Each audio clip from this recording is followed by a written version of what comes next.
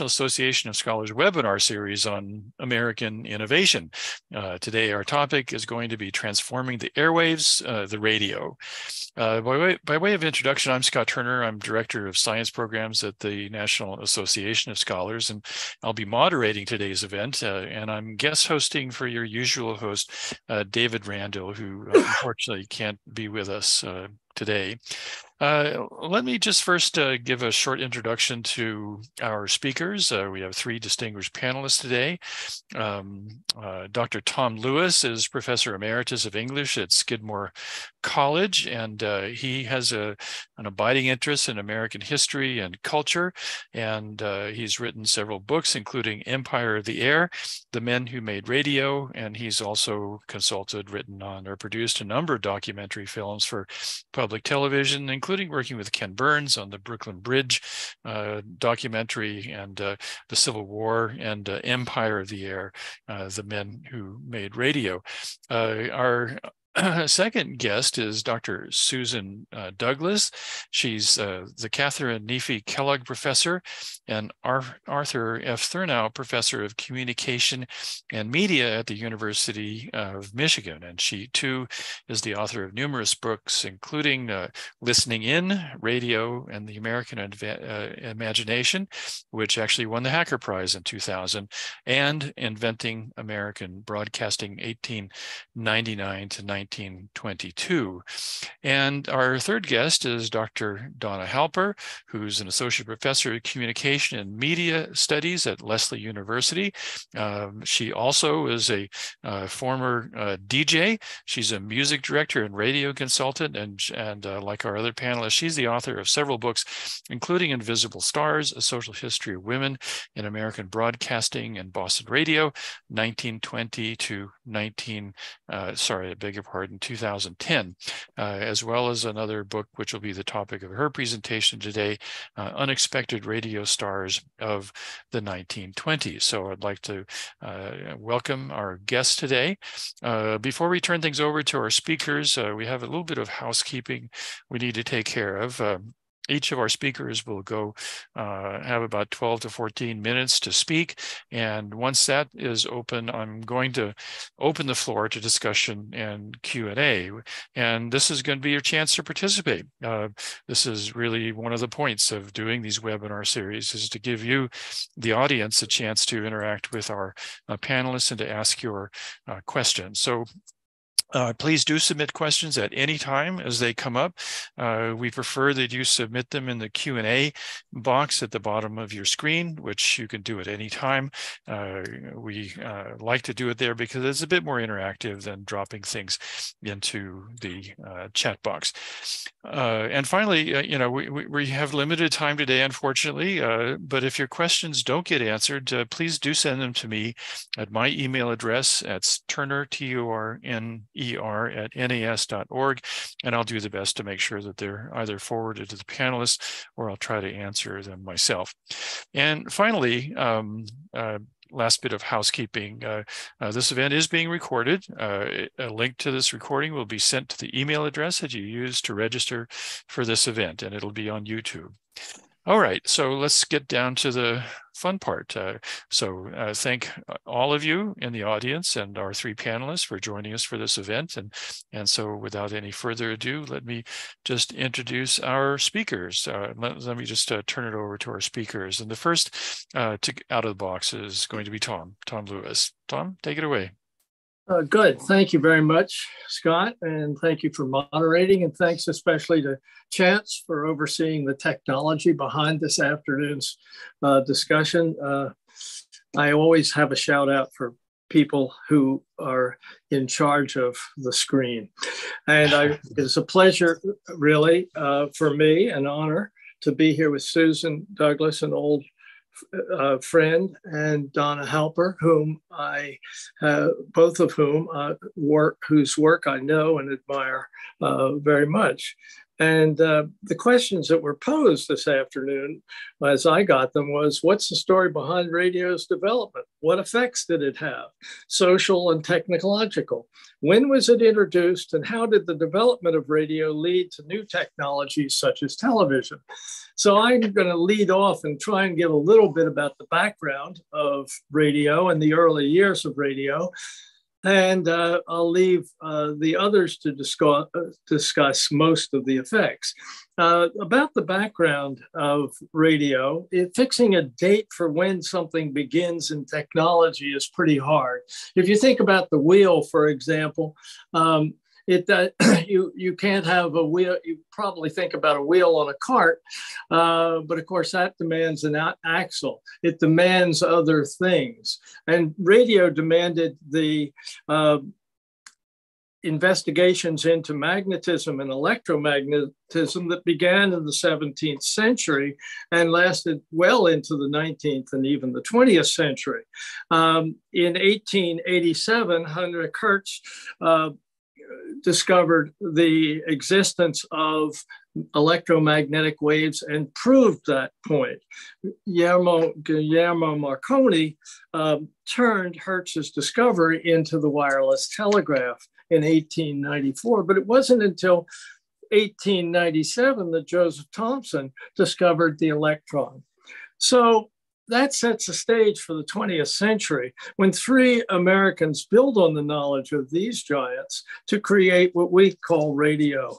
And lay, they laid the foundation for the digital age that we're in today. And that's, I think, ultimately the importance of this afternoon's topic. The men who did this were Lee DeForest, and he was a, an incurable and passionate romantic his mind was filled with often conflicting desires to do good, to make a fortune, to improve the world, to become famous. But he was also cynical, callous, distrustful, jealous, and often dishonest. His 20 radio companies that he created all ended in bankruptcy, and sometimes the officers faced criminal charges and even went to jail. Yet he is without a doubt, very important to the history of radio because he created the single discovery that is behind every circuit that we have today. And that is the three, he created the three element radio tube. He called it the Audion. And that is the grandfather of the transition transistor and ultimately of the uh, computer chip. Uh, it is a way of regulating uh, the electrons that proceed through a circuit and amplifying them if or uh, controlling them, I should say. Um, the second is Edwin Howard Armstrong, who understood the electromagnetic waves. DeForest did not. And he understood DeForest Audion on tube in ways that eluded the inventor of it. Um, and he created a novel way to use the tube as the basis of for basically what he called regeneration, which was amplifying the circuit, both for listening and broadcasting and transmitting. And this was an entirely new way of communicating. Uh, and he did this in a way that created the circuits that become the basis for everything in radio uh, today. His inventions made him very wealthy at first. He became the largest shareholder in the Radio Corporation of America. We'll hear more about that in a minute. And at one point, brought him additional millions from other companies. Um, but the, unfortunately, he ended up impoverished. Uh, without money and ultimately took his life, as we'll discover in, in the next couple of minutes. The third person I want to bring on stage is David Sarnoff. He, David Sarnoff was not an inventor, but an entrepreneur. Uh, and he had in energy, intelligence, shrewdness, and determination. And these qualities that he brought forth came with him from to America from a shtetl in Russia, and he first grew up in New York in the Dickensian poverty, I should say, of a New York tenement. And within 20 years of his arrival in the United States, he was president of the Radio Corporation of America, the largest radio and manufacturing company, broadcasting company in the United States. And more than any other person in America, certainly more than DeForest and Armstrong, he understood the meaning and the impact of the new technology of radio. As early as 1916, he proposed a radio music box, and in just a decade, RCA after that, uh, RCA in just a decade was selling radio music boxes, radios, and broadcasting radio programs on NBC, the first national network. Yet these achievements came at a price. His personal relationship suffered. He ended or ended in enmity, and his he always sacrificed everything to the the corporation. Um, now, after the war, uh, broadcasting came into its own. And the federal government helped create the company we know, knew as RCA. It was a corporation that gathered uh, the patents of many inventors, including DeForest and Armstrong, and, and put them together to create uh, radio and broadcasting. Combining these inventions enabled radio broadcasting that Sarnoff had long championed. And broadcasting, we want to dwell for a moment on that. That's that agrarian um, what should I say, that agrarian metaphor of sowing seeds uh, that engineers adopted for spreading music, drama, and news and ideas across the land. Now, the words of one person, a person in New York or Washington or San Francisco, could be heard across the country and across the world uh, to by hundreds of thousands or millions. Radio became the first modern mass media, one that knew no geographic boundary and uh, disrupted all the other uh, media that were in place before it.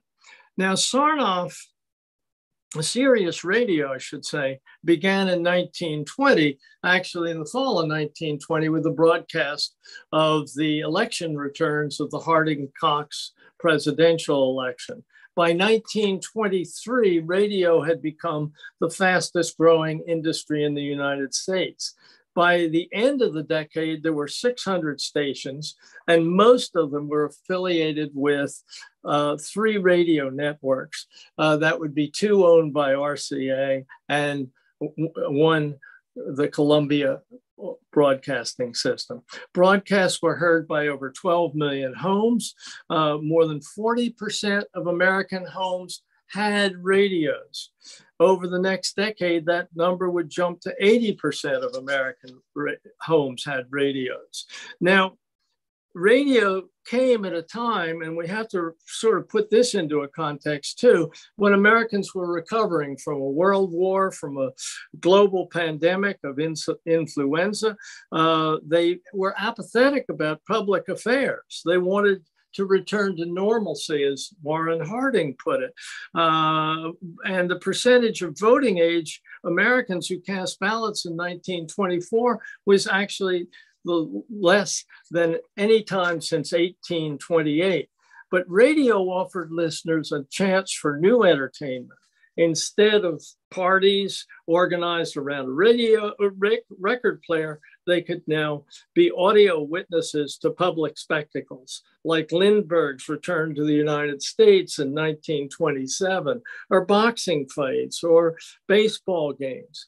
But most of the time, radio offered escape and fantasy to listeners caught up in economic peril of the 30s, especially. There were comedy shows, variety sketches, soap operas that often tacitly affirmed the, the home as the place of moral. Uh, uh, a moral center, uh, feminine domestic haven, a spiritual center for, that intersected with the world outside, the masculine affairs of the world. And the inhabitants of the radio dramas that were created were uh, working class, average people, often like the audiences that they uh, that they were listening. Now, by the 1930s, there were over 200 different radio uh, programs being broadcast. And this cre- created the golden age of radio, uh, which we call, we call that. But we have to remember after we listen, think about Amos and Andy and Gangbusters and Jack Benny and uh, Backstage Wife and all those shows, that there was uh, something else that was going on. The programs that brought America together, reflecting their aspirations and fears, on offered them minutes of relief from personal cares. They often tacitly underscored American prejudices, especially racism. Amos and Andy is, of course, the famous example. Everyone knows two white men imitating blacks, but there were a number of others. Blackface, not black actors, was the rule. One popular program, Beulah, which was based on uh, the character of Aunt Jemima, featured a white man playing the voicing the part of a black maid. So blacks, in a, one sense, were completely without agency in and that uh, particular example there was hatred on the radio. And the crisis in financial markets and capitalism of the 30s certainly uh, helped to fuel that fire, but hatred was there. Father Coughlin is the best example of that. His weekly Hour of Power program was the most famous. It reached 30 million people um, every Sunday on the Columbia radio system. And he began by actually uh, started by giving catechism lessons to Catholic children. And he soon turned it into crude nationalism and anti Semitism. He attacked usury, modern Shylocks, Franklin Roosevelt, and the New Deal, and even and praised, of course, isolationists, those who wanted to stay out of uh, world affairs, and he even sympathized with the fascists and Nazis uh, and justified at one point Kristallnacht. Fireside chats from FDR, of course, were the counterweight to Coughlin and hatred. And he did, we tend to think of him doing a lot of them. There were just 30 and over the entire presidency, and they were short, most about half an hour, and some shorter. There's no question about it, as E.B. White wrote in the in the depths of the depression when the unemployment rate was 25%. When people speak of the radio, they don't mean a cabinet, an electrical phenomenon, or a man in a studio. They refer to the pervading and somewhat godlike presence which has come into their lives. And what happened, of course, is the inventors of radio fought like hell. And Armstrong and DeForest were the ones who were in continual and perpetual litigation. It was a fight which DeForest law, uh, which DeForest first lost, and then Armstrong ended up losing after seven rounds in the federal courts. Uh, two of them went to the Supreme Court.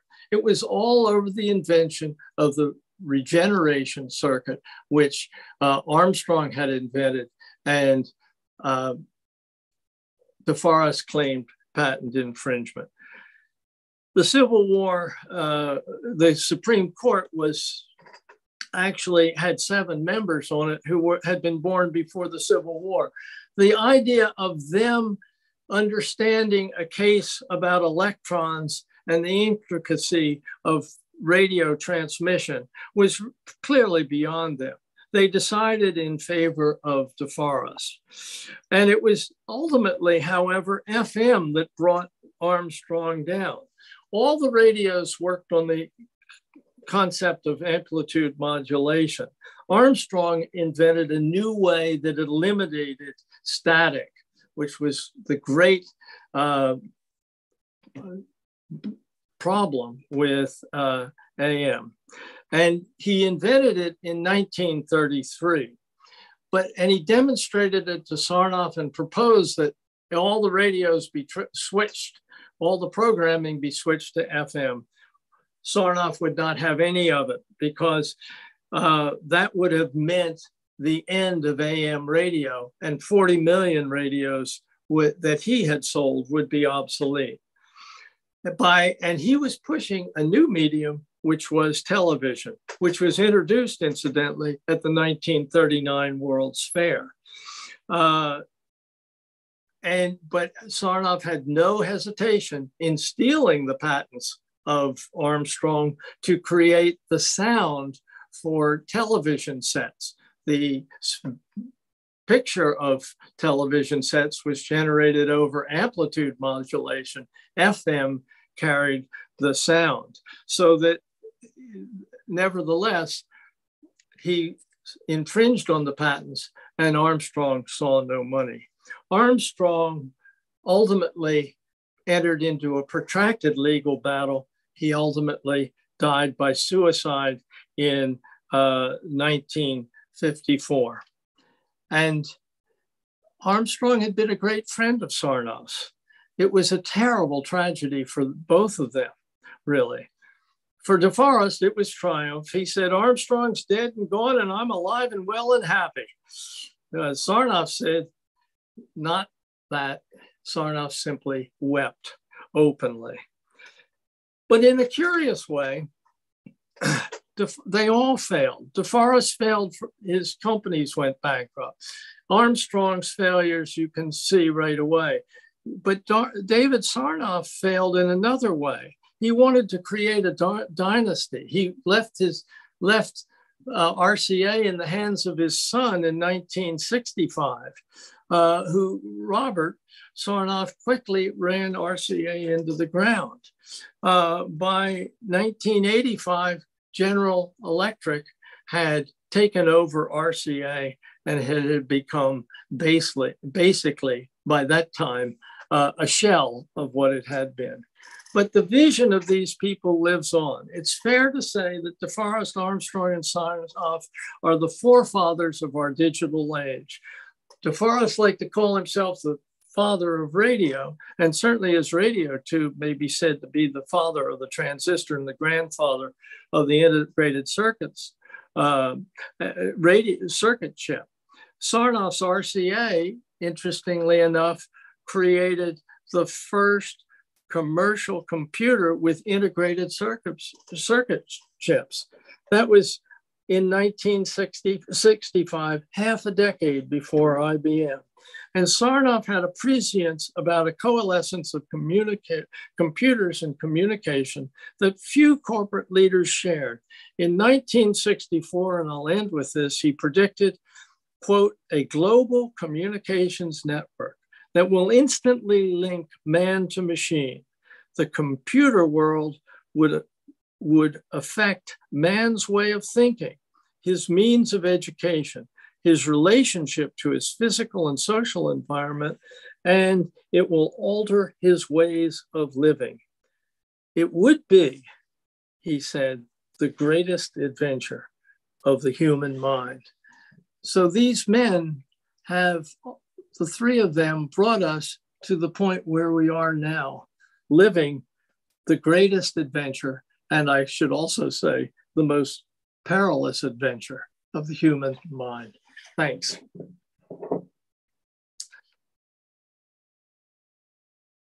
Um, I'd like to uh, uh, move on to Susan, but before we do, let me just uh, remind everyone you can put uh, questions in the Q&A box at any time. Um, and uh, we've got some uh, things coming in the chat box, that's fine. but like I say, try to direct them towards um, towards Q&A. And just one final thing, I've put a link to Tom's book, Empire of the Air, The Men Who Made Radio, again in the chat box. Uh, so please do have a look at that. Okay, let's uh, let's go on to our next guest and uh, Susan Douglas. Uh, Susan, uh, take it away. Well, thank you, Scott, and thanks, Chance, for organizing all of this. Um, and as Tom has uh, reminded us, radio, of course, is a history of technology, of institutions, of huge businesses, and of course, programs. But when thinking about transforming the airwaves, I want to suggest how radio transformed our cognitive and sensory environment because here was a new medium that denied sight to its audience. So, you know, just to put us in the mood here, most of us know that feeling driving alone at night on a road or a highway surrounded by darkness and listening to the radio. There we are, all alone. Yet through this device, we're tied by the most gossamer connections to an imagined community of people we sense love the same music or the same programs that we do. Now, according to experts, at an emotional level, there is something deeper about hearing than seeing, and something about hearing other people, which fosters human hmm. relationships even more than seeing them. And although radio and sound listening have been pronounced dead serially over the years, look at the explosion and devotion to podcasts. Listening matters. Now, when I started working on listening in, I was surprised at how little had been written about radio and the act of listening, about radio and the oral culture that it revived. So I wanted to explore why the act of listening might be so pleasurable and why so many people were and are nostalgic for the radio they grew up with, whether whether it was the golden age or listening to radio in the 1960s, 1970s, or 80s. Now, remember, radio entered a highly visual culture in the 1920s. When it swept through America in the 20s and 30s, it disrupted the cognitive and cultural practices of a visual culture and a literate culture in a way that neither the telephone nor the phonograph did. By the 1920s, just remember, especially uh, Americans and especially those in cities took in a kaleidoscope of newspapers, magazines, billboards, advertising, posters, vaudeville shows, electric lights, and of course, the movies. Illustrations and photographs had transformed nearly all printed material. Everywhere there was a glut of imagery. Seeing was regarded as the most important sense, the visual privileged over everything else. And then came radio. Now, here was a giant auditory prosthesis that extended people's range of hearing to distances previously unimaginable. But radio also carried people back into the realms of pre literacy, into orality, to a mode of communication reliant on storytelling, listening, and group memory. When radio first appeared, as you know, the three of us have seen over and over again, it was constantly referred to as a miracle, as miraculous, and as pure magic. And as hokey and naive uh, as that might sound today, it wasn't simply due to its novelty. The magic was, as I've argued, in the act of listening itself, in relying on and trusting your ears alone to produce ideas and emotions.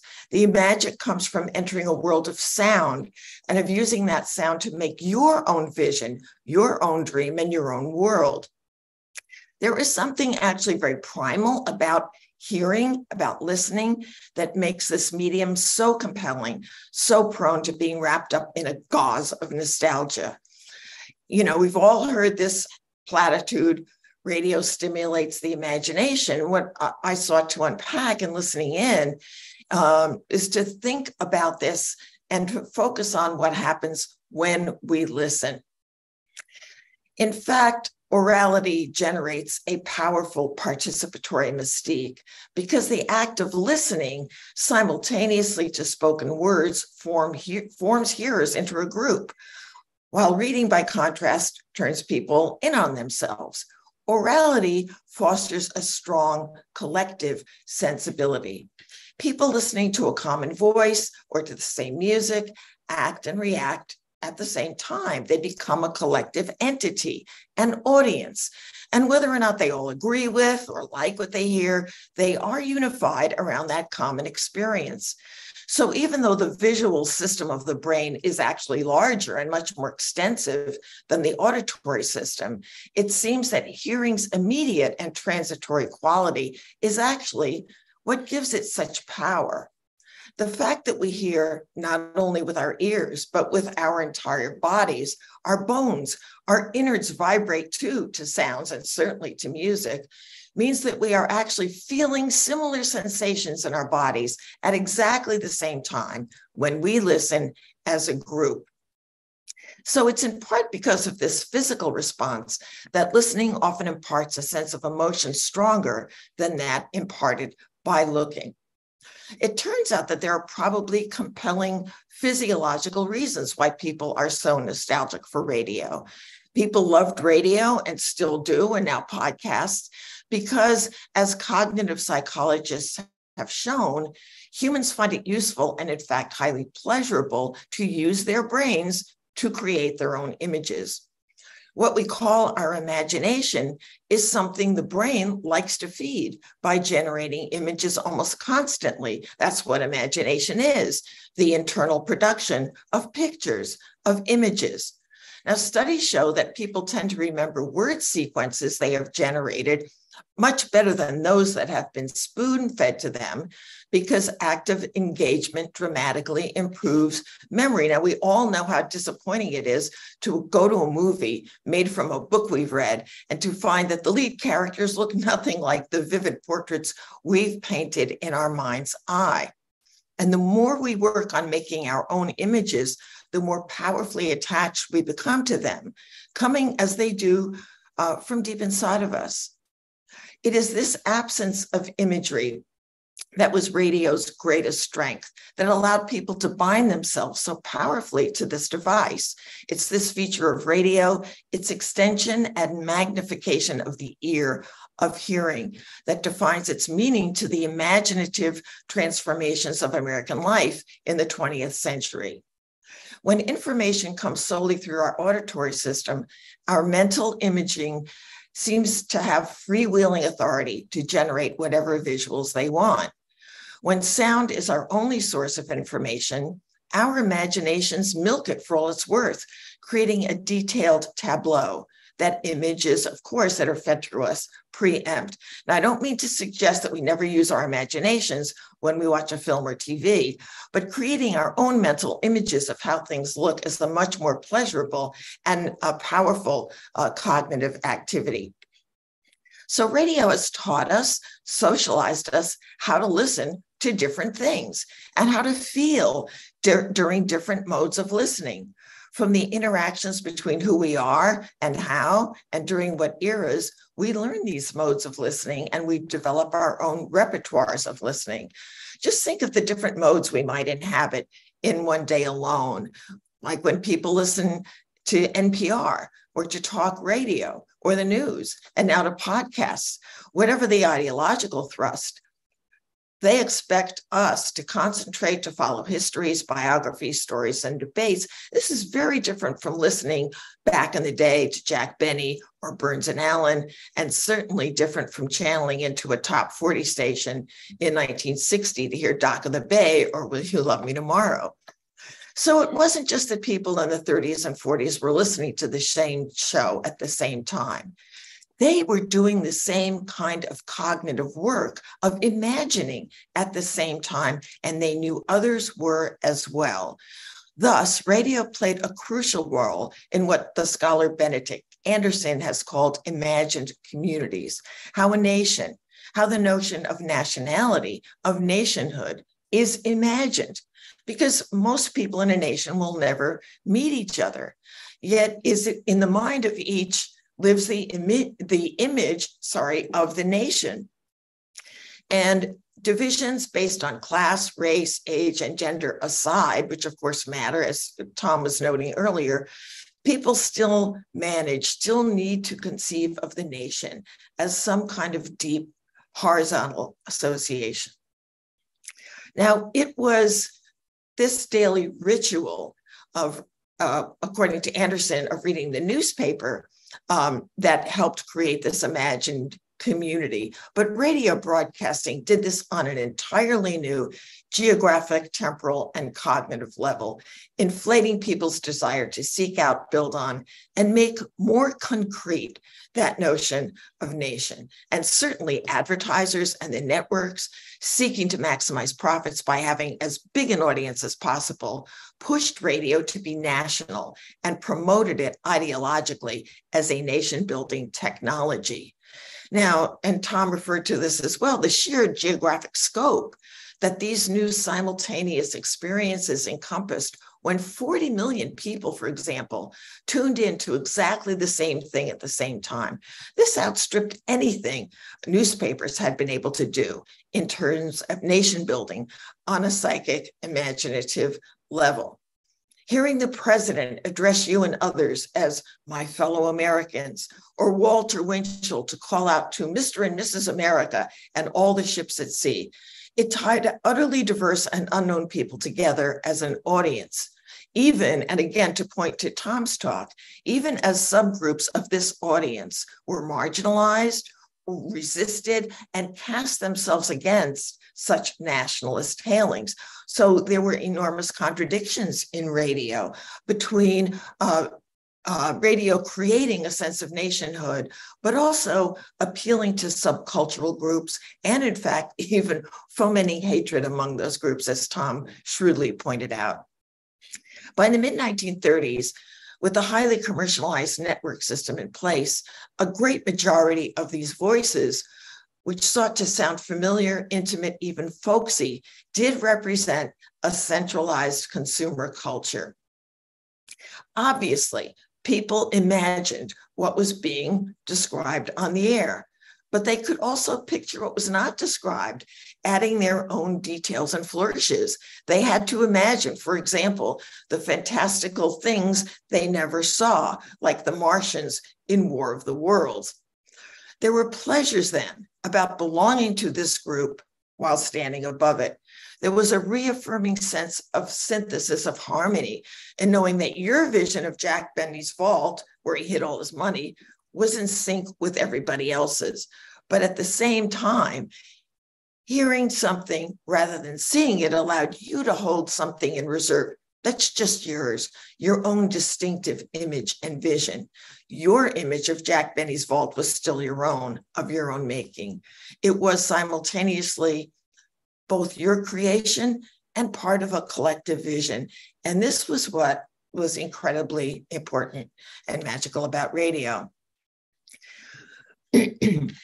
now, just think of what we saw, and Tom alluded to this with our ears. We saw a president, we saw baseball games, we saw boxing matches, we saw Martians landing, we saw a major war, we saw movie stars, The Lone Ranger, we saw The Shadow, all through listening. But most of all, the turn to listening reactivated, extended, and intensified particular cognitive modes that encouraged simultaneously a sense of belonging to a community, to an audience, and yet a confidence that your imaginings, your radio visions were the best and truest of all, and that you would be part of a group, but you were also a distinctive individual. And I will stop there.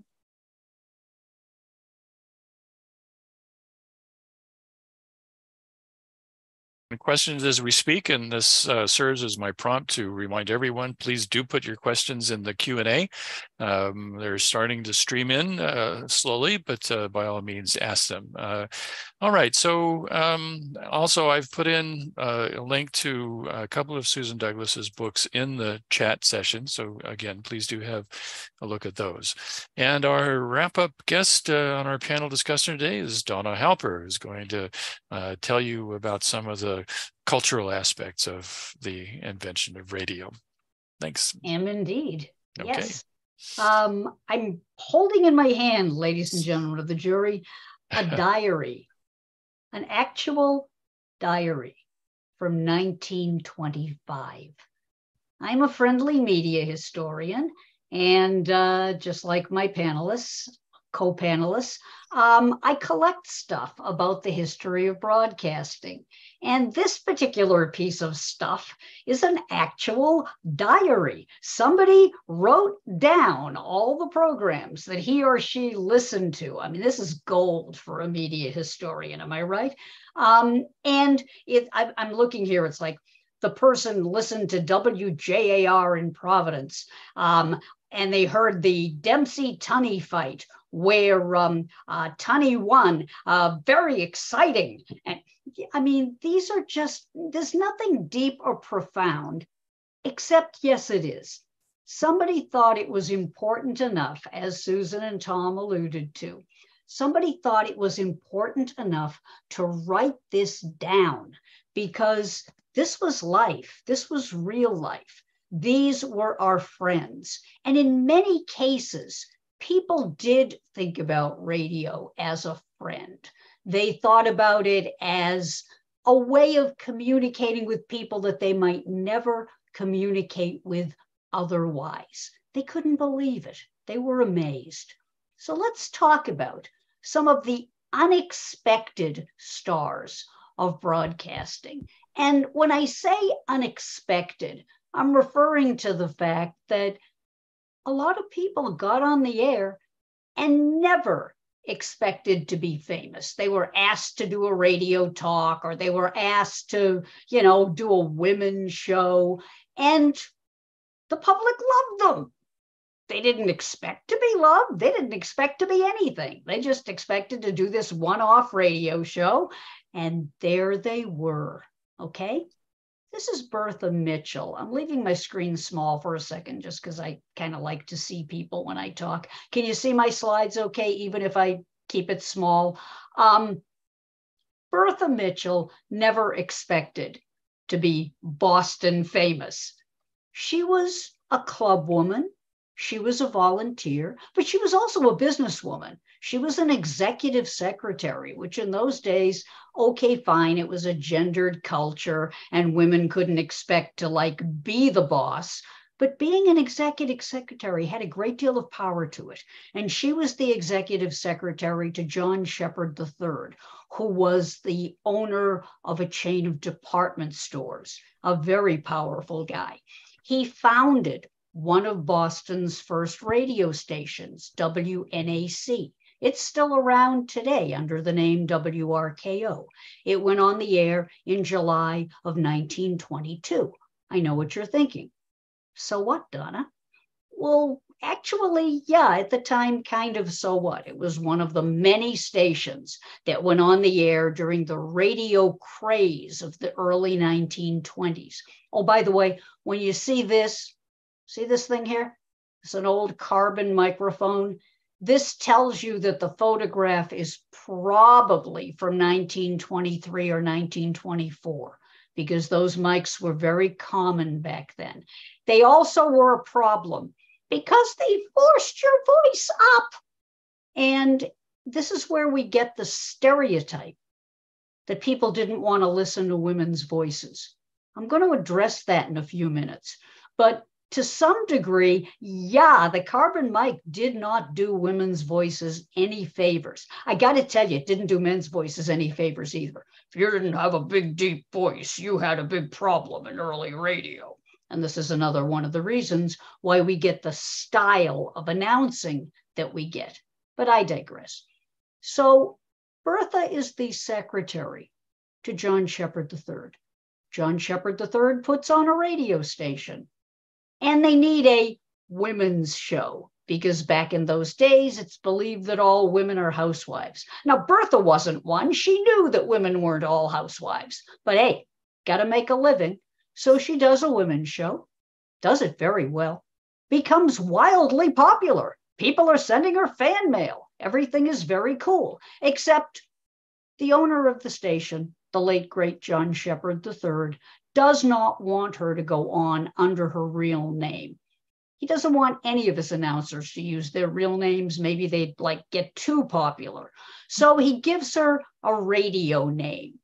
He gives her the name Jean Sargent. Now, Bertha becomes Jean Sargent, and I'm sure all the listeners thought she was Jean Sargent. And then in the middle of 1925, Bertha asked for a raise. She was doing double duty. I mean, she was John Shepard III's secretary and she was doing a women's show. Excuse me. And John Shepard III basically told her to go pound sand. Bertha Mitchell was not going to go pound sand. Thank you very much. She got a really good job in the Midwest as a station manager. Everything worked out fine. Say goodbye to Boston. Well, now John Shepard III has a problem.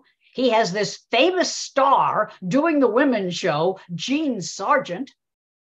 And when she leaves, the next person that takes over the show is named Jean Sargent. This is where house names come from. Where, if you were a kid during Top 40 radio, you may have remembered hearing a guy on the air named Dan Donovan. And then a few weeks later, you heard a different guy. It was a different guy, except his name was Dan Donovan. And you thought, am I going nuts? No, you weren't. You were hearing house names. And this is where the practice got started. But let us go, if we may, to a fine example of the effect of radio creating stars. This is Nellie Revell. Nellie was a press agent and a very good one.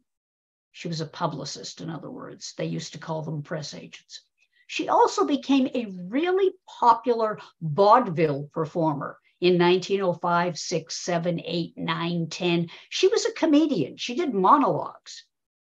Um, here's a problem unless you were wealthy, unless you could buy a really nice dress or suit, and unless you were white, the chances are real good you never got to see her perform as good as she was. But then radio came along. And one of the interesting and perhaps unintentionally transgressive things that radio did was it made stars out of people who might have otherwise not been stars because of their race, because of their gender, because of their religion, as we will see in a few minutes. But Nellie Revell goes from being a vaudeville star to being somebody who is heard nationally on NBC. She creates a character called Neighbor Nell. And come on, she's a press agent. She knows everybody. And pretty soon she's doing gossip. Okay, she was kind of the Hedda Hopper or the Louella Parsons of her era. And she knew everybody who was anybody, and she could tell you all about them. And you didn't have to get a nice dress. You didn't have to get a suit. You didn't have to go to the theater where she was because suddenly she was in your house entertaining you like a best friend. Now, this is my cultural hero. This is the late, great Eunice Randall. Eunice was the first woman radio announcer in the East, and she was one of the first in the United States. Eunice never expected to be a famous radio announcer. She never expected to be a radio announcer at all. She was a draftswoman she did not want to be called a draftsman. Long before people degendered certain terms, Eunice was real adamant in the 19 teens that she was a draftswoman. Thank you very much. She did technical drawings, did them very well.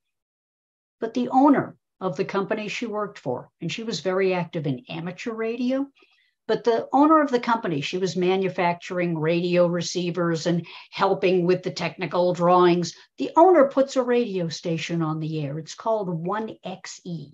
The X stood for experimental. And they needed announcers and they needed people who could work cheap.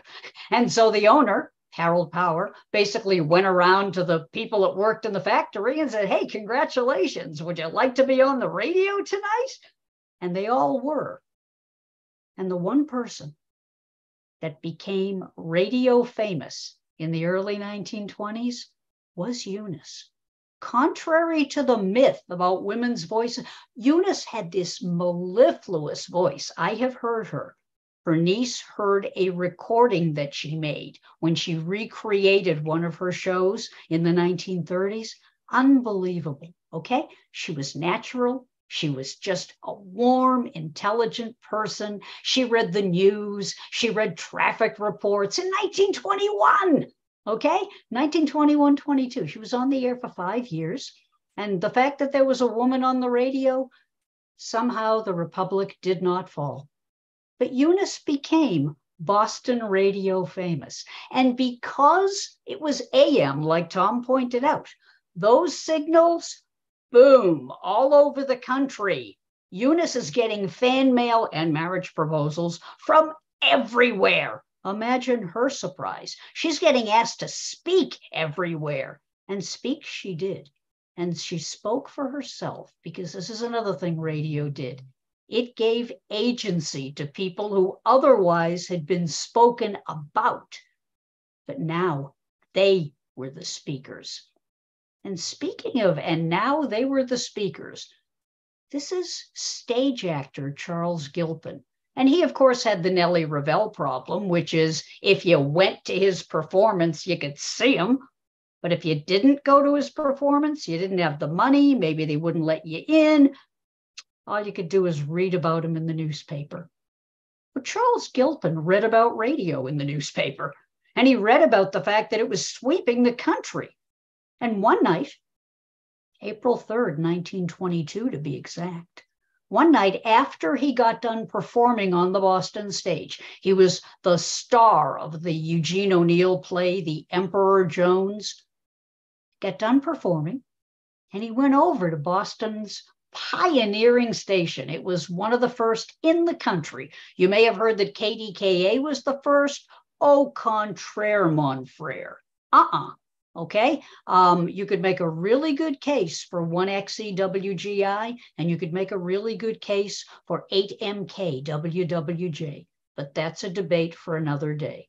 One thing we do know Charles Gilpin decided hey, I'm right up the street from a radio station. What would it be like to do some of the Emperor Jones on the radio? And by the way, radio wasn't called radio yet, it was called radio phone or wireless telephone. Nobody knew what to call it. But whatever you called it, Charles Gilpin goes on the air that night, April 3rd, 1922, perhaps one of the first times in the country that a stage play is performed live by the star. And then he sang a song, and people couldn't believe it. People were like, uh, the Boston newspapers were just like, we don't believe this is happening. We just heard a stage play on the air. Uh, and, and the guy, like the star, uh, yeah, Charles Gilpin, African American in an era of segregation, transcending boundaries to be heard on the air performing for himself. Now, I got to talk about Charles Wagner, Charles L.H. Wagner, sign painter by day, radio poet by night. Charles Wagner had a shtick, and it was a very interesting shtick. Okay. He was a commercial artist by profession, but he fancied himself a poet. Oh, my friends, I've seen some of his poetry. He is not going to make the world forget Shakespeare. I promise you. Okay. But for his day, he was able to get a few of his poems published. And then he went on the radio. And his shtick was that Susan calls in and says, Would you ask Mr. Wagner to do a poem about the president? And off the top of his head, he would come up with a poem about, okay, it was doggerel. Okay, it really was. And I think I was just unfair to doggerel. But it doesn't matter. People loved it. People were sending telegrams, ask him to do a, you know, do a poem about the governor or about the mayor or about traffic in Boston. It didn't matter what it was. He'd come on the air a couple of nights a week and do poems. And he turned them into a book. Only one copy has survived. And Brown University has it and I made a pilgrimage to see it so that I could like read what were the big news stories in 1924 as Charles Wagner did them on the air in poetry. Now, another thing that radio did was it brought Broadway musicals, it brought stage plays, and in the case of Shuffle Along, it opened up the possibility of, let's be honest, white people buying black music? Because it turned out they loved the music in Shuffle Along. It was a stage Broadway musical 1921, perhaps the first Black Broadway musical, wildly popular. The touring version hit Boston in the mid in mid 1922. It did so well they had to like keep extending it and keep extending it. And John Shepard III, remember him, got the bright idea. Let's have Sissle and Blake and Lottie Gee and some of the other. Let's have them come on the radio and perform. And they did in August of 1922, the stars of Shuffle Along came on WNAC and performed some of the songs in the show. And I promise you, the audience was thinking, is there this much wonderfulness in the world? But back to the unexpected. Let's talk about Bernie and his bunch. Now, there's your carbon mic, 1924. And there's Bernie. Bernie is really Bernie Aegis. Bernie's a lawyer, but Bernie's a brand new lawyer and he ain't making the big bucks. So he starts an orchestra and he plays around Boston, weddings, bar mitzvahs, you name it, he'll play it. And then one night, because radio needs performers. Radio is a volunteer medium at this point. Okay, you want to get, a, you know, Scott, do you sing? You want to get on the air? You know, it, that's exactly how it happened. And so it was that Bernie and his bunch went on the radio, and everybody loved them. And the next thing you knew, they were on again and again and again. And they became local stars in Boston radio. They couldn't keep up with all the bookings. Now, let's be honest.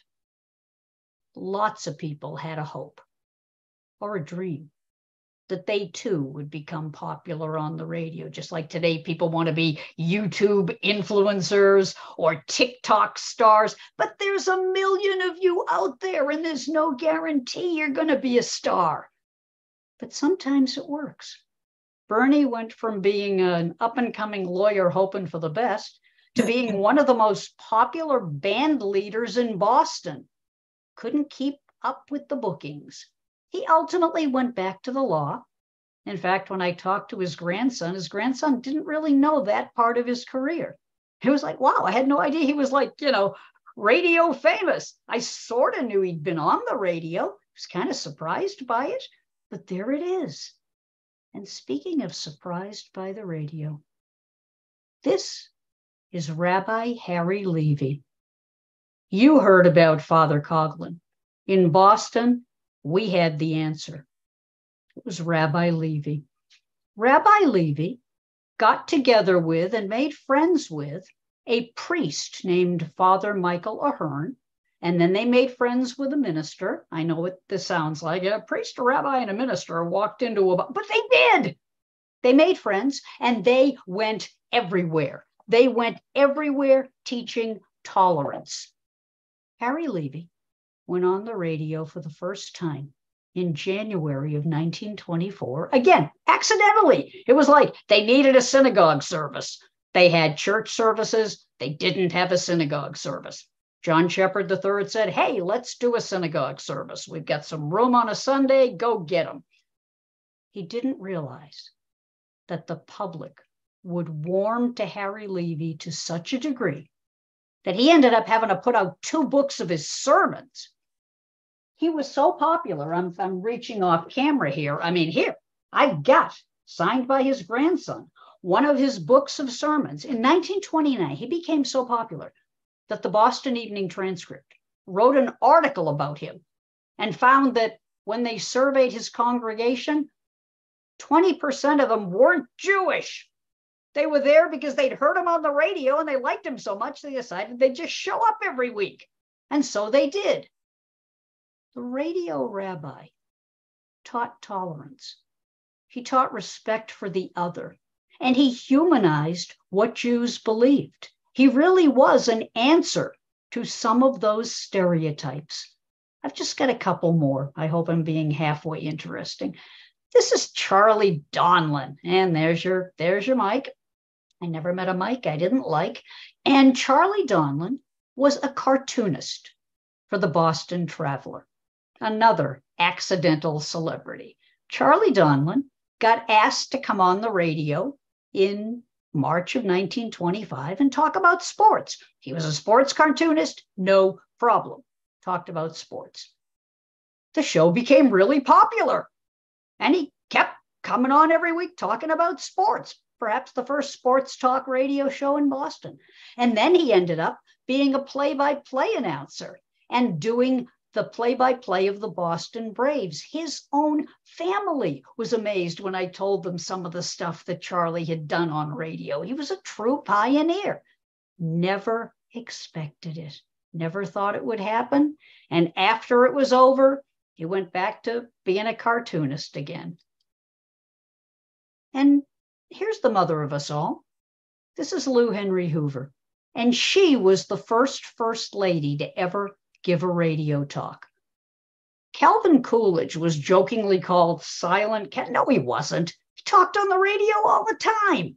Even made fun of his voice because he had a very nasally voice. But hey, he was the president and you weren't, so he could talk any way he wanted to. Grace Coolidge, his wife, people begged her to go on the radio, wouldn't do it. She was shy, would not give a radio talk. But Lou Henry Hoover, she did give one. And then she gave another. And she opened up the possibility of first ladies allow, being allowed to speak in public. Historically, first ladies were supposed to be in the background. Lou Henry Hoover had been the president of the Girl Scouts. She gave, of course, a talk about the Girl Scouts and about volunteerism. And she continued to do that. And she really did pave the way for Eleanor Roosevelt. So, what have we learned? Well, what made radio unique in that era, because I'm a social historian, radio made ordinary people famous because it was a mass medium that could take anyone. You had hope that maybe if you performed, maybe that would be you. It took people who otherwise would not have been able to transcend the place that they were performing and let them speak to millions because radio was live. It always needed interesting people. Who knows? Maybe you'd be that person. And as I mentioned, radio was unintentionally transgressive. It gave Black people, women, Jews, and other marginalized groups a chance to speak to audiences that might have rejected them if they tried to speak in person. Gave them agency. Oh, I gotta say, radio brought the dead back to life. The great Caruso died in 1921, but his phonograph records lived on. And just like people today, kids will hear the Beatles and it's like, oh, will they ever reunite? Um, probably not. But everybody heard the great Caruso. They loved him, even though he was gone. And finally, radio in many ways equalized the social classes. Up until radio came along, if you weren't wealthy, if you weren't white, if you didn't live near a big city, there was a real good chance you'd never hear any of the famous people, let alone become famous yourself. With radio, it made just about anything possible. So, to sum up, in the end, a lot of the radio famous people, the ones that were accidental celebrities, they went back to their ordinary lives. But their lives, in many ways, were never ordinary again. They were transformed by a medium that let them do things they never thought they'd be able to do. Thank you. Thanks very much, Donna. That was fascinating. Was uh, I okay? Was I all right? It was fantastic. Yes, thank you. All the presentations were fantastic. And uh, uh, again, I've put some links to Donna's uh, works on the chat page, so please do have a look at uh, at those uh, at those items. By the way, for those who thought I was being kind of weird, just saying, was I all right? I'm on a panel with two people that I've admired for years. And I'm putting this out for a reason. I'm 76, still adorable, but 76. Okay. and I still work full time. Donna, what's your point? My point is, I got my PhD when I was 64. I went back to school when I was 55. I was a rock and roll DJ for years. I went back, and, and everyone said I was too old. Oh, my friends, if you're one of those people sitting out there thinking to yourself, wow, I'd like to do that, you're not too old. You're never too old. So for me, to be on a panel with people that I quoted in my dissertation. I got my PhD when I was 64 years old. And here I am with the scholars. I'm just a working class kid. If I can do it, you can do it. Just had to say that. Thanks, Donna. So your comment about the Beatles uh, prompted the thought of me that actually uh, uh, artificial intelligence, which has everybody in a stir right now, is bringing back the Beatles, right? It's uh, and so so that's a that's a whole new dimension to uh, the creation of this uh, of this media uh, conquering the airwaves and as we transform into digital media and so forth. So um, let's go to Q&A. Um, uh, they're starting to stream in a little bit. Uh, there's been a couple questions uh, uh that have come in on the Q&A chat already. And uh, Susan, thank you very much for, for uh, putting your input in. But Donna, your um, your mention, I, am sorry, I can't remember the man's name right now who used to make up impromptu poems on the air. Um, yes, Charles L. H. Wagner, the radio poet. Yeah, well, we had uh, an interesting response from uh, one of our listeners, uh, End User, and uh, he composed his own little poem. And I just thought I would uh, read it out. It's in the chat page. Uh, and he says, It might be a crime to take little time to make up a rhyme, not worth a dime. I hope I read that uh, read that the way you intended it, uh, end user, whoever you may be. Um, so we've had a couple of interesting uh, uh thoughts here. Um, one of them uh, came from uh, also end user. He says, "I've always found the call letters of the older AM radio stations to be interesting. Uh, as a youngster, the local power station in the Twin Cities was WCCO. Only much later did I learn that the letters came from Washburn Crosby uh, CO. I don't know if that means county or hmm. company. And that company made General Metal Flour, which is now known as General Mills. So, uh, and th- there were a couple of other questions about the origin of call letters. And uh, I don't know when this was standardized, uh, but uh, any comments that you might be able to shed on this history, uh, I think uh, uh, our listeners would be interested. I can certainly do that, but I don't want to step on my co-panelists. Did you guys want to say anything about that first, and then I'll be happy to leap you, in you and start. tell you what I know about it. Why don't you start? Okay. So there were two ways to get call letters. The Department of Commerce, which that there's no FCC yet. Okay, there's in 1927, there's going to be the FRC, the Federal Radio Commission. But prior to that, the folks that supervised the fish also supervised radio. It was like the Department of Commerce and Herbert Hoover. Now, back in the days of the Titanic, once the law went in that radio stations had to be on board a ship, and by radio stations, I don't mean stations that play the hits. I mean stations that can let you know if you're about to run into an iceberg. Um, those stations had call letters. And when the ship sank, the next ship didn't want those call letters. Thank you very much. And so it was that there's this stockpile of call letters. And as I understand it from a couple of radio magazines that I read, um, what the Department of Commerce did was they took some of those call letters and just handed them out to the news stations. So that's how WBZ, which had already originally been a ship radio station, got to be WBZ. So that was one way to get them. The Department of Commerce handed them out for the most part sequentially. WAA, WAB, WAC, et cetera, et cetera. But you could also request call letters. WCCO is an example. In Boston, we had WEEI, the station that Charlie Donlin was on. WEEI stood for Edison Electric Illuminating Company, it was owned by the Edison Company. Now, in Chicago, WGN was owned by the Chicago Tribune, world's greatest newspaper, WGN. Hmm. now, a lot of owners tried to retrofit a slogan. They took requested calls and then, you know, they didn't get them. So they took the regular calls and just kind of created something. We have one in Fall River, which is to the south of Boston, WSAR. And it was just a sequential call, but they retrofitted, we sell advertising results. Hmm. You. So a lot of the KFWB keep fighting Warner Brothers no, it was a re- was not a requested call. But long story short, most call letters were just handed out, but there were a few that stood for the company that owned it.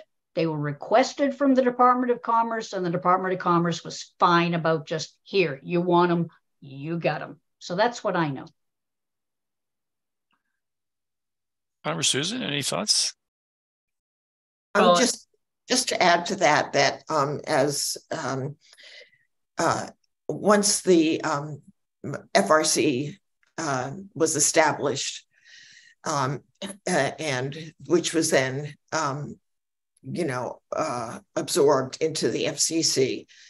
Um, stations west of the Mississippi started with a K, the one exception being KDKA, and stations to the east of the Mississippi started with a W. Yeah, there was an exception in Alaska. There was a, a W call in Alaska. Hmm. Yep. It should have been a K. Oh yeah, you, you were kind of grandfathered in. If you had a traditional call, they kind of let you keep it. Yep. Yeah. yeah. That's about. I can't add any more, except to suggest tell you that some of the initials were very nice. There was a socialist leading station in New York City, which was WEVD, W Eugene V. Debs. And, uh, but everything that Susan and Donna have said is absolutely right. There was an optometrist in Washington, D.C., who bought a station, and it was WMAL. M.A. Leese, which was that was the name of the optometrist. It was great yeah. publicity for him. Uh, we we see, like I said, we see some of that. Okay, and but most of the other call letters, pretty much, you know, you asked for them, you got them. But if you didn't ask, you got what they gave you. Yeah. So um, um, uh, all of you have have uh, spoken about uh, radio as this kind of uh, entrepreneurial social um, medium, and uh, Susan's already uh, typed some things into uh, in, into the Q and A session. Uh, John Lawrence Bush asks, "Could the panel describe in greater detail who took the lead in starting starting individual radio stations around the U.S. and Canada?" And he specifically asked, "What steps did they have to take? In other words, what was the procedure to starting a radio station in the 1920s?" What did what hoops did you have to jump through to be able to do that?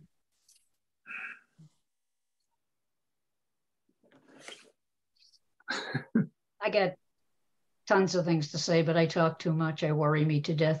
um, is would someone like to get started, and then I'll jump in? Well, what you were it, it sort of follows on what you were saying about some um, companies starting radio stations.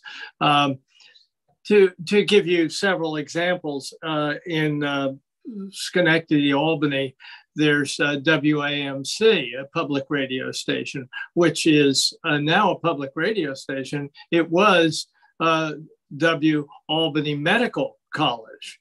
And what they were doing was broadcasting um, ways of taking out an appendix and that sort of thing. So it was a lot of health related broadcasting. And uh, so uh, there were those. And then there were people, uh, companies uh, like, for example, WGY, again in Schenectady, which was a 50,000 watt station, which uh, took its uh, wireless, general, and electric. Uh, general Electric, and the last would be the Y, the last letter of Schenectady. So that became WGY. Uh, other stage, other uh, companies, uh, especially newspapers, started their own stations because that was they it was felt that it would be an extension of what they were uh, doing uh, in uh, in uh, journalism, and then you have department stores. Everybody's trying to get a, a, a piece of the action, if you will, because radio is becoming extremely popular. Um, and then you have people who take over a station and change the letters. Uh, I can give you an example of WHHH in um, Warren, Ohio, which stood for Helen Hart Hurlburt. She owned a radio, she owned a newspaper, and she wanted to extend it, but she also had an enormous ego, and she wanted to name the radio station after herself. Which was remarkably common back then. Mm-hmm. Um, during the radio craze, let me just see if I can get this up here. Can you see that? Mm-hmm. Yes. Um, that's Marie Zimmerman and her husband, Bob. Marie Zimmerman was the first woman in the United States to own a radio station. Her husband, Bob, built it, but he was real adamant about the fact that Marie was the one that ran it. And when reporters would come to him and try to talk to him because he was the guy, and he was, oh, no, no, no, I got nothing to do with it. I'm just the city electrician in Vinton, Iowa. Okay. I mean, we both love radio. I built her a station. She wanted it. She got it. She runs it. And so she did. And she ran that station for about 14 months before they ran out of money. My point is, in the radio craze, 1922, 23, when you suddenly went from about 10 stations to like 500, everybody and their mother wanted to own a radio station. There were radio stations in people's houses. Irving Vermilya couldn't afford a studio, so he put a radio station in the living room. His wife comes home from shopping one day and finds a soprano in the living room singing. and she's like, uh, why is the soprano in our living room singing? I'm not making this up. Okay. Yeah. Um, he, he couldn't afford to, I mean, these were just small business people. These were inter- entrepreneurs. These were just local people. These were folks with a dream, back to that whole dream thing. It was like, why not start a station? Here in Quincy, where I live. Um, Harry Sawyer had a station in his little electric shop. He sold like parts for radios, and then in the front room, he had a station. Now, most of these stations didn't last. They were taken over by big corporations that had deep pockets and money to pay the talent. But for a certain period of time in the early 20s, you never knew what you were going to hear. It was a giant adventure. You might hear somebody great, you might hear somebody awful, but in many cases, you were hearing local people who just had always wanted to own a radio station. So the answer to who started them, yeah, some of them were started by entrepreneurs. In other cases, they were started by big corporations. Up in Canada, somebody mentioned Canada, um, some of the first stations had affiliation with newspapers or had affiliation with the government in some way. But there was a great limitation about how many stations could go on the air in those early days in Canada. In the States, it was like a free for all. Okay. Anybody that could get a microphone up and build the equipment. And, you know, some people put a radio station in a truck and they just drive the truck around. So it really was for those first few years before it became more corporate, before the Radio Act of 1927. A lot of stations came and went. It was a more exciting, more adventuresome time. Some of those stations lasted most could not compete with the NBCs and the CBSs and the General Electrics and the RCAs, but they had some fun while it lasted.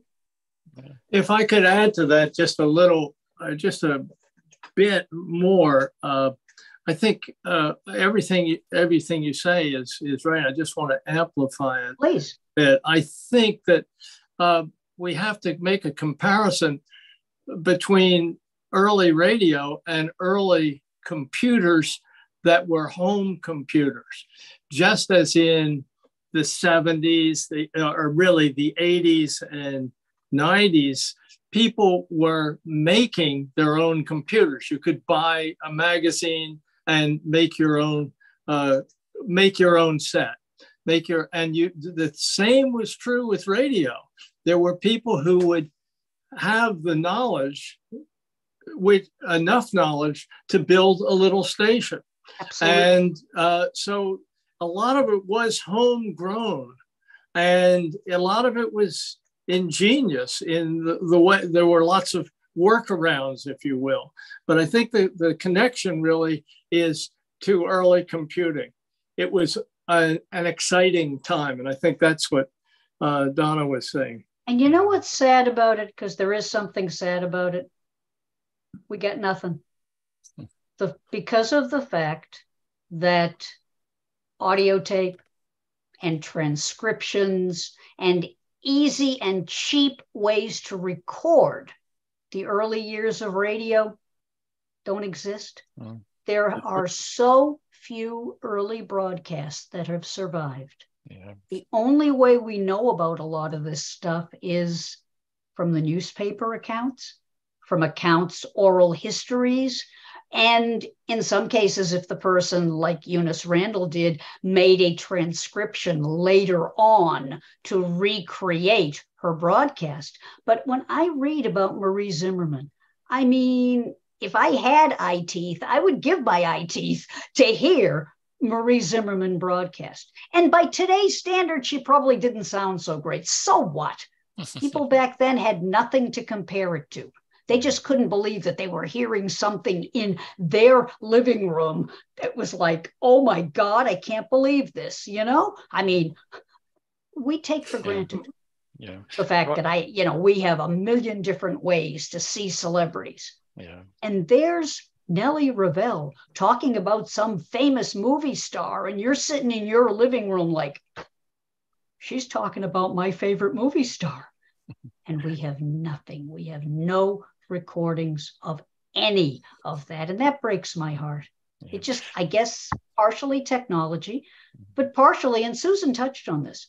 Yeah. For whatever reason, radio has been like the poor stepchild of research. We have had so little scholarly research about those early years. And it's a shame because it was a period of such innovation well, uh, uh, uh, while we were talking, uh, our uh, viewer Roger had his hand raised. he waited very patiently, but he's taken it down. But what I'd like to do is to encourage Roger. Please do put your question. Oh, here it is, right here. I think it was about advertising being uh, illegal from the beginning. If there's another point you would like to uh, contribute, Roger, please by all means put it uh, into the into the Q and A. But uh, while we're were working their way around that, oh please, okay, as early yeah. as 1921, yeah. Uh, stations were finding ways to work around the no advertising.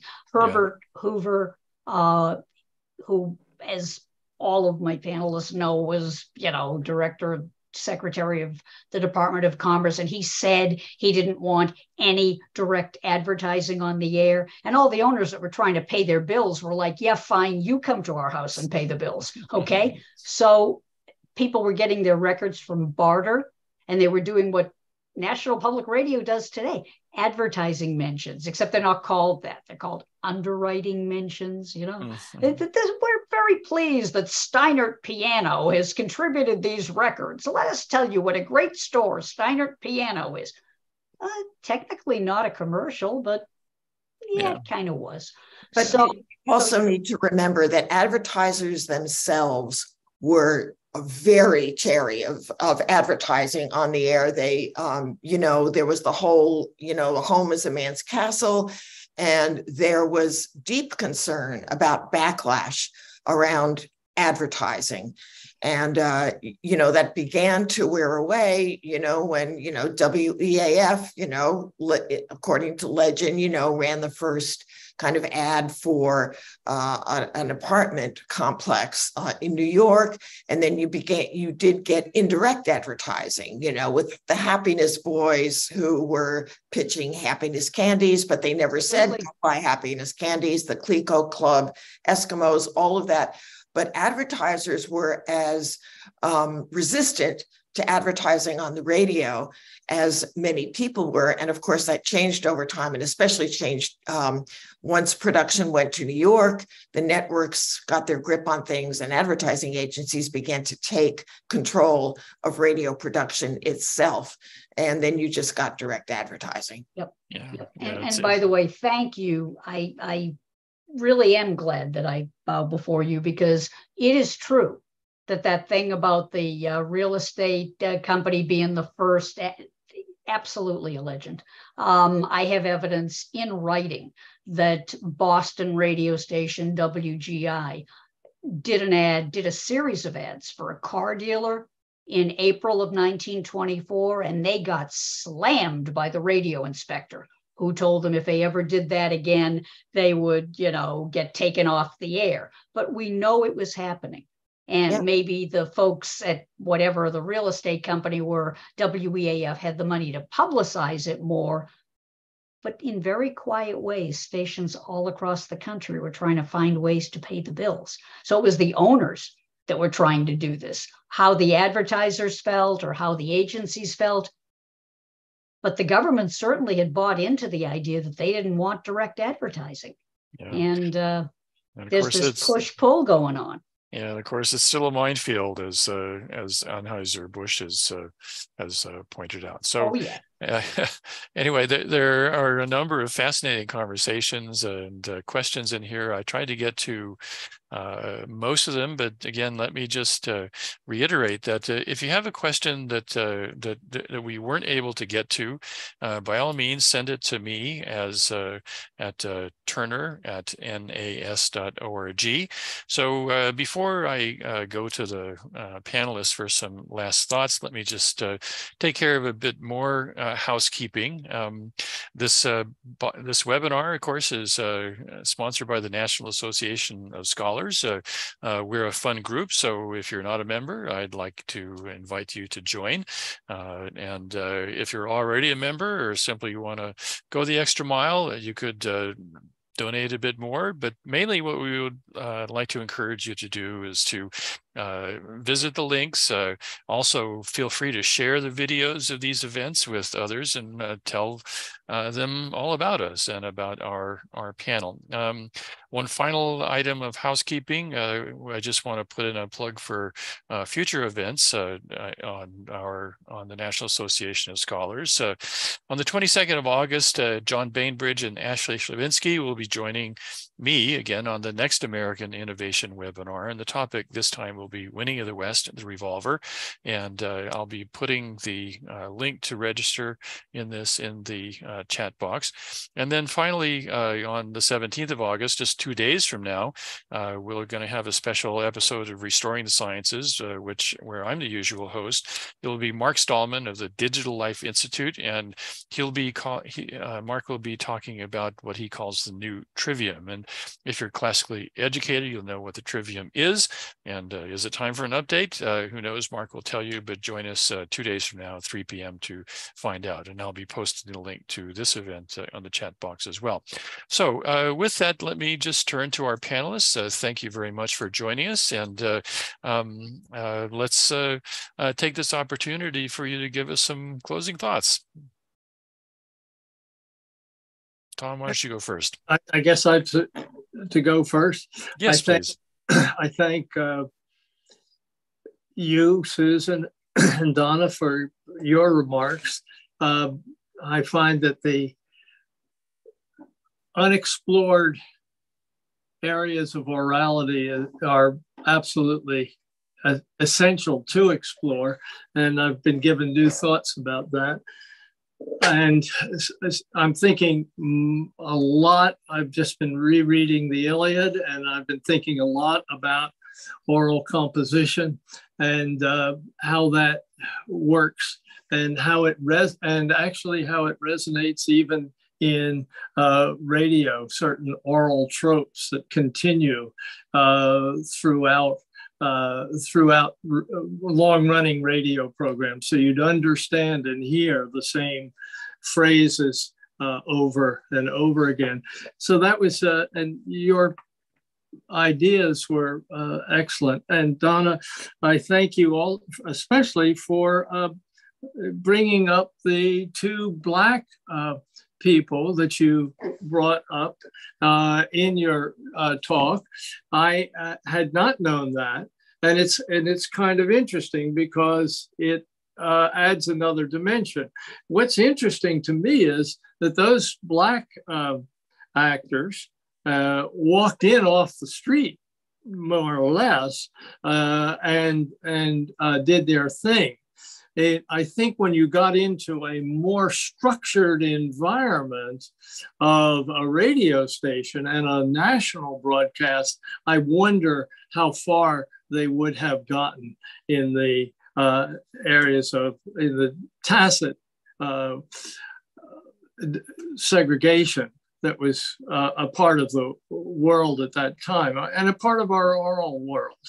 Um, I find well, it especially one of the things that was transgressive about radio because you had right. somebody who was black performing. Bessie Smith performed on radio. Bessie Smith, the Empress of the Blues. She performed on a southern station. They made her go up the back entrance, but but she right. performed, and she was heard all over the South, including in places where she would never have been allowed to perform. That so is, that kind of thing happened. Yeah. Anyway, I thank you for that, and I'll I'll leave it at there. That. Thank you. Susan, any final thoughts? Yeah, just to pick up on this theme, um, because you know, radio, like so many institutions, was such a fraught and contradictory institution, and of course, there was enforced segregation, um, you know, on the networks. You know, I, it wasn't until I believe the late 30s that um, Black musicians could play as part of bands on the radio. Uh, and of course, we have Amos and Andy, a, a very complicated uh, radio text. Um, you know, was it racist? Of course it was racist, but it also did other kinds of very interesting work um, that was not solely racist, but that's a whole other conversation. But to pick up on, um, you know, Donna's examples, despite the uh, segregation on the radio, Bessie Smith absolutely got on. And when she would get on, white people would call and ask for where who were the records? Can we hear her again? Louis Armstrong got on. Fletcher Henderson and his band got on. Um, Duke, Duke Ellington got on. Count Basie got on. And because, you know, because radio denied sight to its audience, this was a blessing for Black performers. And what added to it was that the music that these people were playing or performing were blues and jazz. And it wasn't just Black folks that liked that music.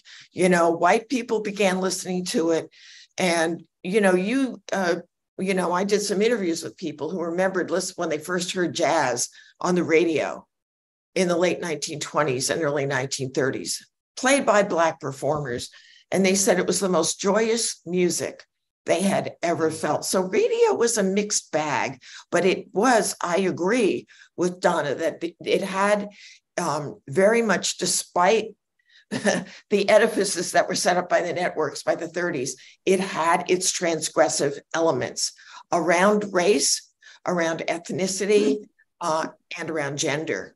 Um, just to cite a few. So I just wanted to pull both what Tom's points and Donna's points together on that score. Thanks, Susan. And uh, Donna, last word goes to you.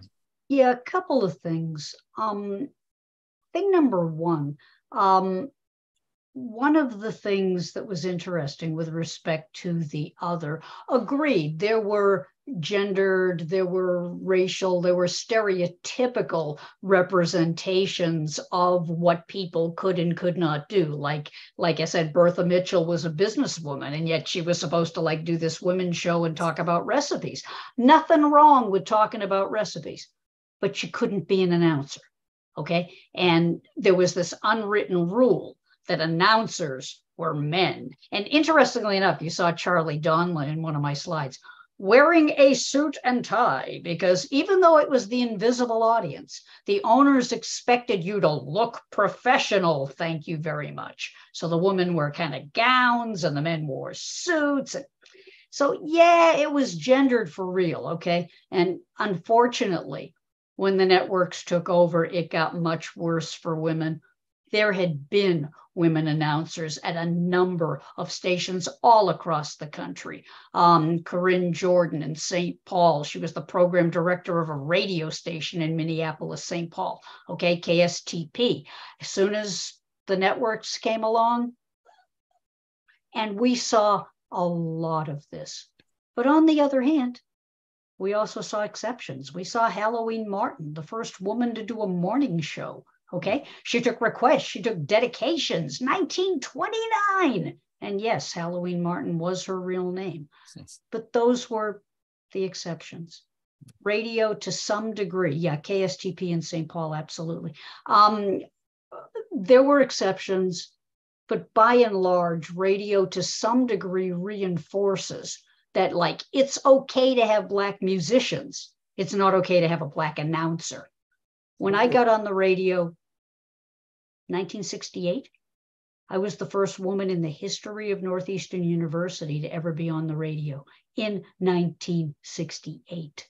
Mm-hmm. There's something sad about that. It's well, unfortunate that the Eunice Randalls of the world were considered the exceptions. The, in the 1930s, the Dorothy Thompsons and the Kathryn Cravens, they were the exceptions. But if you wanted to do a women's show, you were fine. If you wanted to be a big band blues singer, you were fine. If you wanted to go outside of that, you were not fine. But I'm going to leave you with Harry Levi because Harry Levi wrote a book, The Great Adventure, and he always looked at life like a great adventure. He was living in a time of anti Semitism, brutal anti Semitism. But he went on the radio and he humanized the other. He taught tolerance when nobody would do it. He stepped up when nobody would do it. And he stepped up because a Christian, John Shepard III, decided that, hey, why not have a rabbi on the air? And I never want to do a talk about all the problems that radio reinforced without also talking about there were a few heroes. There were a few people who stepped up and said, yeah, we should have a show about tolerance. Yeah, we should have a woman announcer. Yeah, we should have an African American doing something that you wouldn't expect. There weren't enough of them, but they existed. They still exist today. And life still is a great adventure, said Donna, who's a cancer survivor. I'm happy to be here. It's a privilege. Thanks for having me on the panel. I know I wasn't your first choice, but I hope I did okay. Oh, I really wasn't. There, were, there was somebody else that was, he couldn't do it. So they asked me, and what a privilege. Well, well, Thank well, you so much. Thanks to the three of you uh, for a fascinating discussion. I uh, and I think I will just close off by a, a, comment from Becky G. And I'm looking closely at the emojis there. She said, Thank you all with lots of hand clapping emojis. So, on that note, uh, thank you all for joining us for today's American Innovation webinar.